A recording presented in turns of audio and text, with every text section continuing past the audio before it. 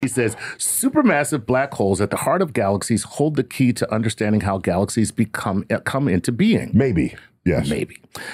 Can- Is let me it- tell you why it's a maybe. Okay. Because the supermassive black hole has like the big ones, like a billion solar masses. So the mass of a galaxy, however, is hundreds of billions times the mass of the sun.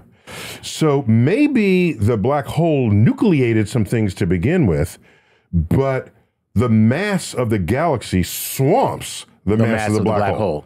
So Right. there's a limit to how much you're going to credit the black hole for the whole damn the, the kit and the caboodle. Gotcha.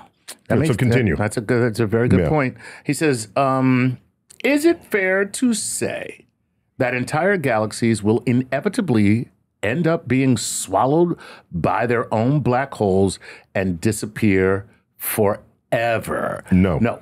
Yep. There you go. Thank No, you no. for being my everyday source of wonder. Oh, thank you. I love that. So here's the thing. A black hole is really tiny relative to the gal. They're big. They're like the size. The billion solar mass black holes are like multiples of the size of the solar system, but that's still tiny in the middle of the, the galaxy. galaxy. Okay. Right.